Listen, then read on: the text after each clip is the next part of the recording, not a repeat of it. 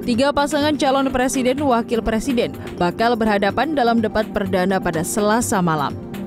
Debat direncanakan akan berlangsung selama 150 menit atau 120 menit durasi bersih debat yang terbagi menjadi enam segmen.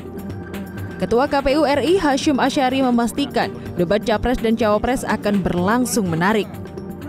Hal ini terjadi karena setiap calon akan mendapat kesempatan lebih banyak untuk menanggapi atau saling sanggah visi misi calon lain. Calon A misalkan ya, itu kemudian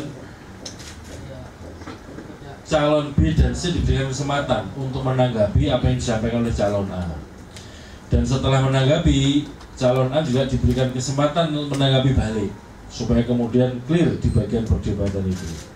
Tapi pada dasarnya di bagian awal sebelum sebelum masuk kepada pertanyaan masing-masing diberikan kesempatan untuk menyampaikan visi misi program sesuai dengan tema.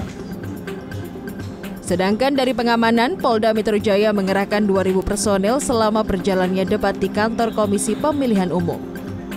Rekayasa lalu lintas pun akan dilakukan di sejumlah ruas jalan sekitar KPU mulai pukul 3 sore seperti ruas Jalan Bundaran HI menuju Jalan Imam Bonjol, ruas Jalan Agus Salim menuju Jalan Imam Bonjol, dan beberapa ruas jalan lainnya.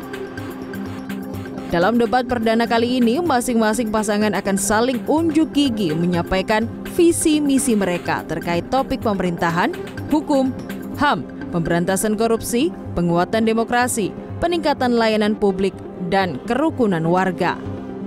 Tim Liputan CNN Indonesia